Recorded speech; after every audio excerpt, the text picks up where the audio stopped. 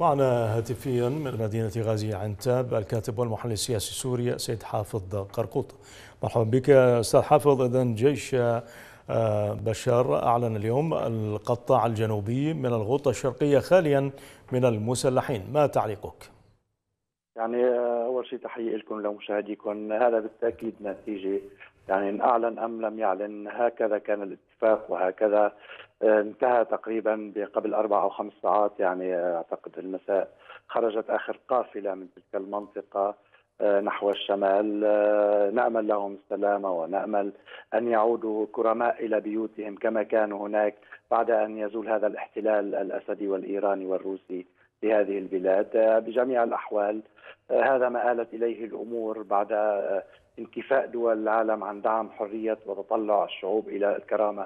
في الشرق الأوسط وبالذات سوريا لا يلام المدنيون أمام جبروت دول كبرى قصفت هذا الشعب وأكثر من 66 ميليشيا إيرانية تعمل على الأرض السورية بالإضافة إلى أن الدول العربية للأسف تخلت عن واجبها القومي وحتى الإنساني تجاه هذا الشعب وحتى عوضا عن أن تساعده نلاحظ أن هنا وهناك بعض الشماتة حتى بمصير المدنيين السوريين للأسف. هذا ما آلت إليه الأمور لكننا التاريخ سيسجل ونحن سنسجل لأن هذه البقعة الجغرافية التي كانت مهد الحضارات خذلها العرب عندما السوريون يبحثون عن الحفاظ على إرثهم وتراثهم الذي يعود إلى آلاف السنين نعم. كان بعض أخوتنا العرب يبحثون هل بقي مرافق للترفيه في في جوار دمشق أو مراقص أو سلسلة دراما كانوا ينتجونها ماذا سنقول؟ طيب برأيك لماذا تستثني روسيا جيش الإسلام من خطة التهجير؟ يعني بجميع الأحوال أعتقد بأن في دوما الآن عدد كبير من المدنيين ما زالوا هناك مع جيش الإسلام. حتى الآن تجري مفاوضات. لا نعرف إلى ماذا ستنتهي هذه المفاوضات. بعض الأنباء التي تسربت يقال بأنها قد تتم صفقة ببقاء بعض عناصر جيش الإسلام هناك لإدارة الأمن بالتعاون مع وجود رمز للنظام داخل دوما. حتى الآن لم تنتهي تلك المفاوضات. ربما إذا وصلوا إلى حل وسط نخفف رحيل المدنيين عن بيوتهم.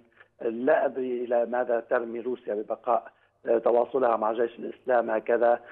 نحن يعني نصعب الآن أن نعطي رأينا بما يجري في دوما هل دوما أدرى بشعابها كما يقال.